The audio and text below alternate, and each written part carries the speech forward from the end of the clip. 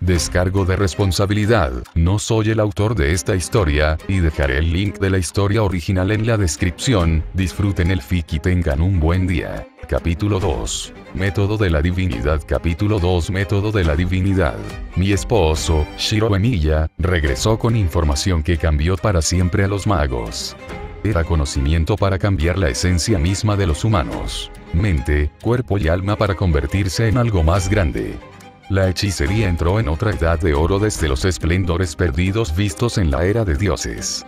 Rin Tosaka, esposo de Shiro Vanilla y más tarde diosa Tosaka, me agarré la cabeza y surgieron recuerdos. Afortunadamente, eran más fáciles de digerir que los recuerdos de Shirou de este mundo. Estos recuerdos del mar insondable de los recuerdos de Emilia de muchos posibles mundos paralel que había visitado como contraguardián como amenaza Gaia la supervivencia continua de la humanidad? Pregunté, esperando ansiosamente la respuesta de Kiritsugu para compararla con los recuerdos de Emilia en mundos paralelos. Kiritsugu le envió a Rin una mirada curiosa. Shinji intentó envenenarme con el veneno de la locura. Es del tipo que induce recuerdos falsos. De alguna manera, Shirou fue el que fue envenenado. Los recuerdos falsos aún podrían estar interfiriendo con su recuerdo. Rin explicó con calma como si fuera lo más normal del mundo. Era casi imperceptible, pero con las habilidades y recuerdos que había heredado de Milla, pude notarlo. Sus dedos temblaron y las manos casi alcanzaron su cintura, donde probablemente se encontraba algún tipo de arma. ¿En qué está pensando Shinji? Una cosa es intentar socavarte o derribarte por medios políticos, pero otra cosa completamente distinta es que intentar asesinarte cruzó una línea que no debía haber cruzado. Gruñó Kiritsugu enojado. ¿No es eso normal? Hablé. Rin y Kiritsugu me miraron fijamente. Pensé que el asesinato era una parte común del gran juego, en otros lugares, los medios políticos como acuerdos clandestinos, chantajes y asesinatos son comúnmente aceptados por todos, ya que garantizan que solo los nobles más adaptables lideran la supervivencia de la humanidad, pero en lugares como Fuyuki ese no es el caso. Fuyuki posee un punto de anclaje que es crucial para garantizar que el mundo humano permanezca fijo en la Tierra.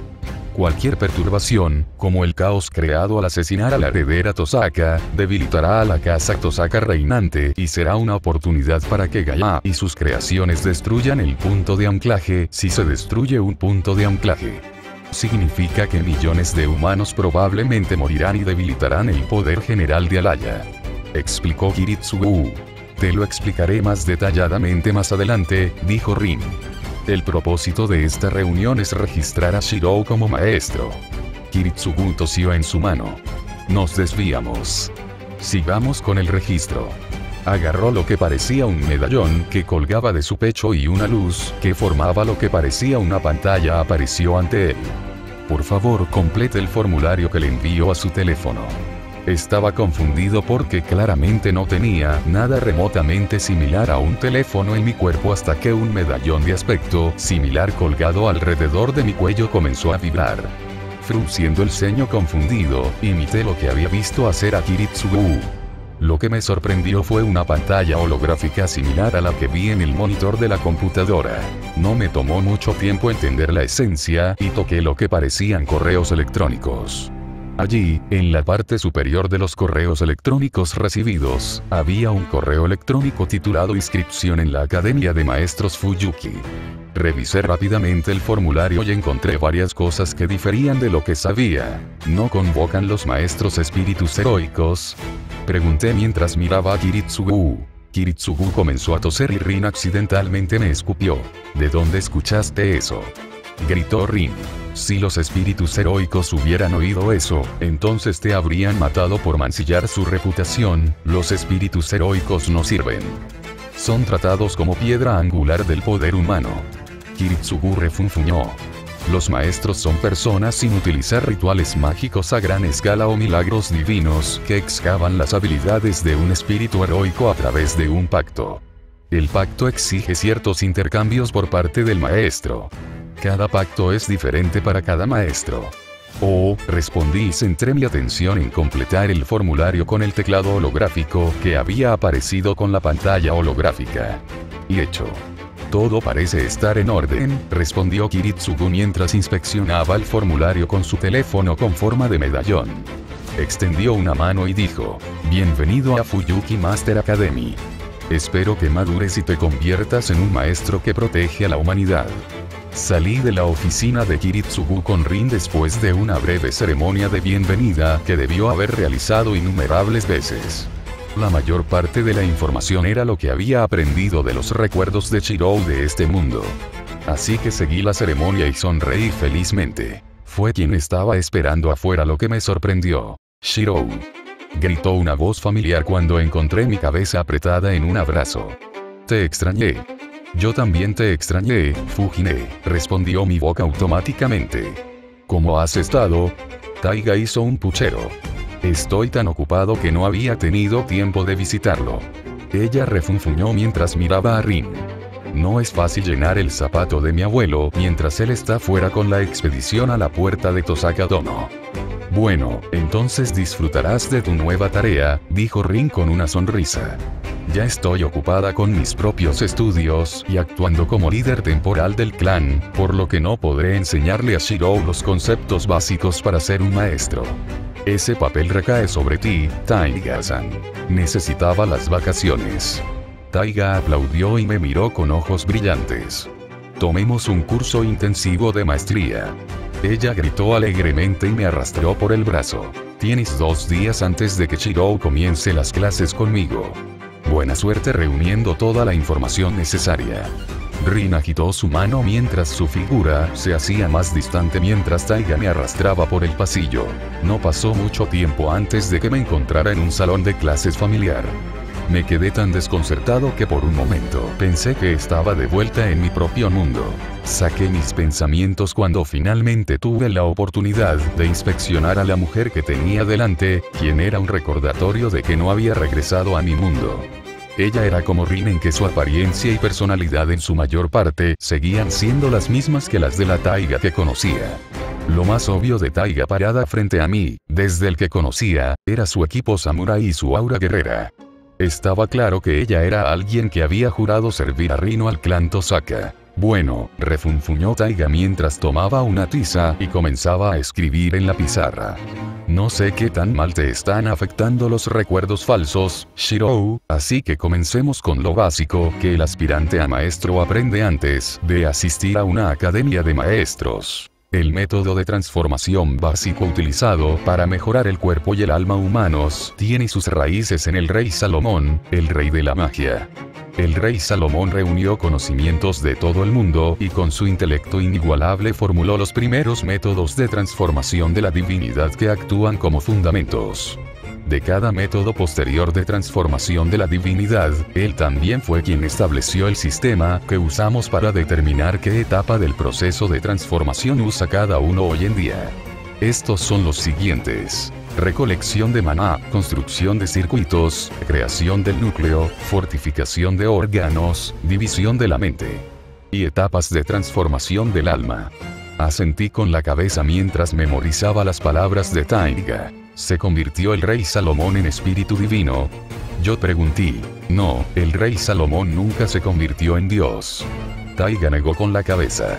Él sentó las bases para que las siguientes generaciones investigaran y refinaran el proceso por el cual un ser humano se convierte en Dios.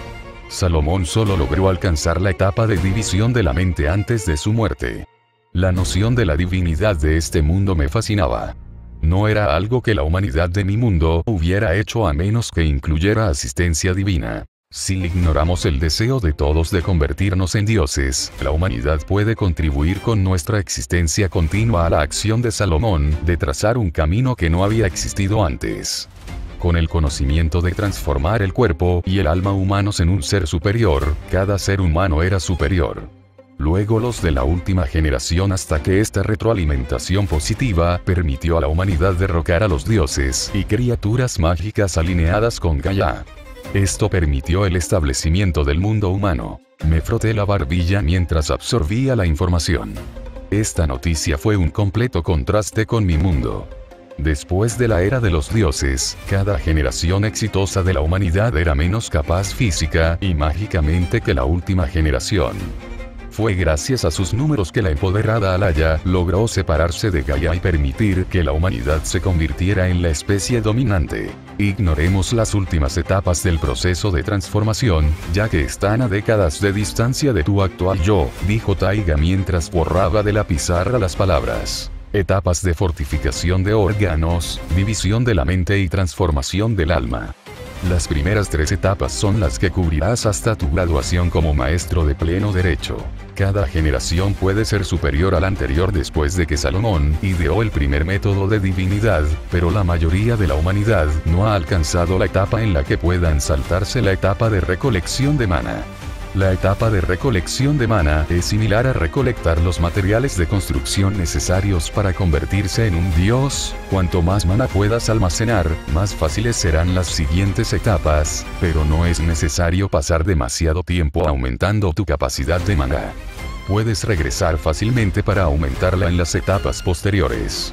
Es como si tuvieras suficiente material de construcción para hacer una casa de un dormitorio o un apartamento de una planta, pero decide hacer una casa o un complejo de apartamentos más grande más adelante cuando necesita conseguir más material de construcción.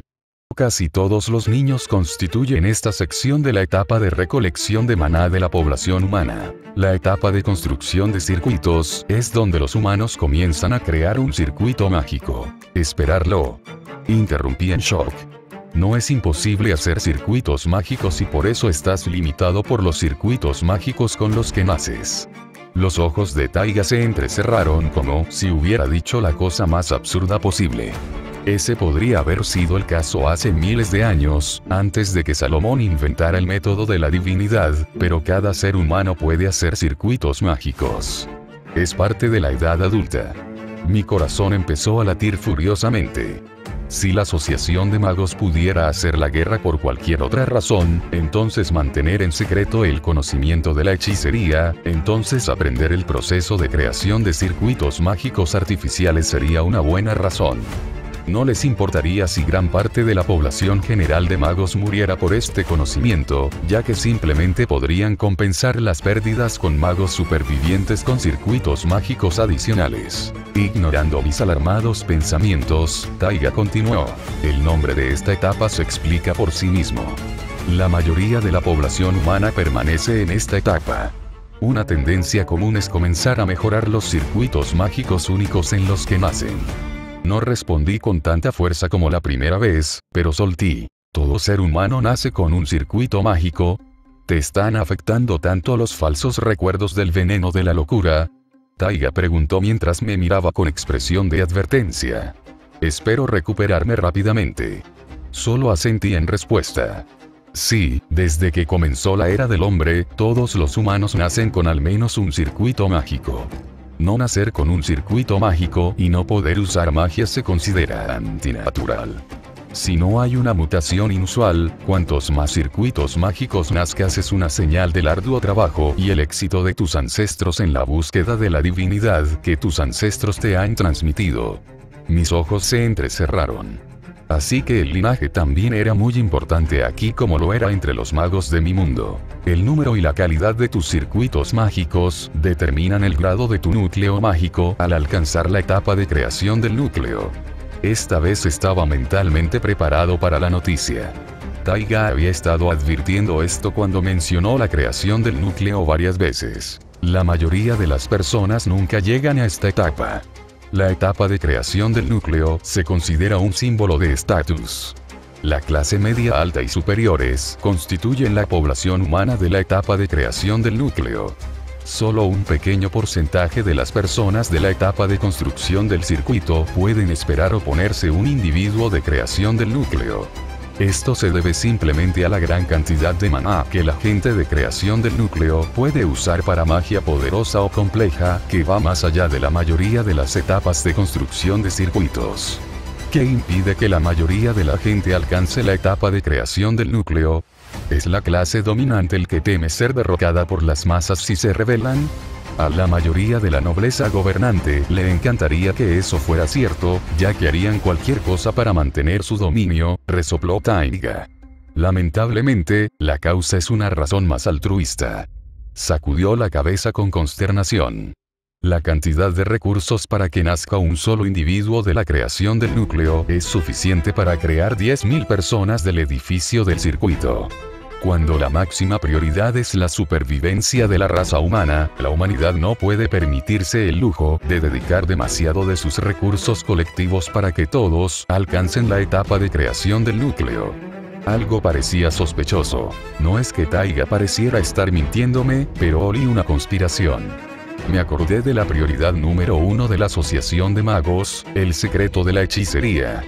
La razón dada fue garantizar que la hechicería permaneciera en secreto para prevenir el malestar social y las guerras que estallarían si la hechicería alguna vez se hiciera de conocimiento público.